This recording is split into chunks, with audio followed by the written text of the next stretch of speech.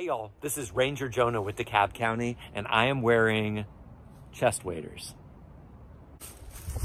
So what I'm doing, and I need to give you a heads up on this, is that I found a dead animal. Um, I need to move it so it's not quite right in the view from the boardwalk, but I want to show you about it so we can observe this creature more closely. The animal that died is a common snapping turtle. Now, this is not the one that died, and I'll show you why. Here is a picture that was taken in these very wetlands about three years ago. But do you see that scar on top of this turtle's head? That's how I know that the one that died is not this particular one. I find these creatures just incredible. So first of all, they look super prehistoric, well, at least to me. And in fact, this particular species, the common snapping turtle, evolved over 90 million years ago. Unlike other turtles, it can't pull its body fully inside its shell. So let's go see the one I found that's no longer living.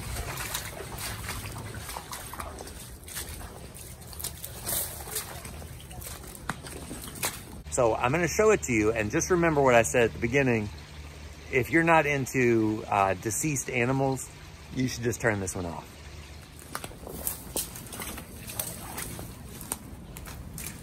See how there's no scar on the back of this turtle's head?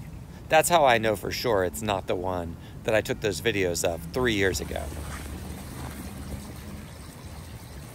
All right, so we know it's a common snapping turtle partially because of the size. It's, it's, it's big. Like, here's my hand.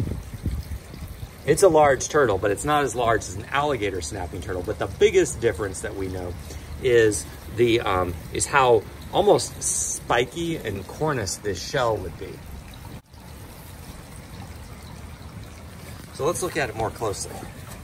The snap of the turtle's beak is how it gets its name, but its sharp jaws are mostly used for cutting food its claws. Check out that foot. And those claws. These are mostly used for getting around and holding down its prey. Now I'm going to roll it over. So, what predator killed this common snapping turtle? Though otters and raccoons have been known to prey on them, I'm guessing it was likely a coyote. You can see where whatever animal killed it ate all of its guts out. This bony part in the middle, that's called the plastron, uh, it's rather small for a turtle. And because it can't pull its body all the way into its shell, it's evolved really thick skin with lots of little plates of armor to protect it. Finally, let's look at this tail. if you didn't know that wasn't a dragon or a dinosaur, Sure could be, right?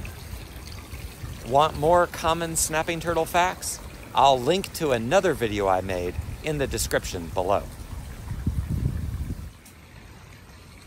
So what to do with a dead animal like this? Well, because we're in a nature preserve, uh, nothing really.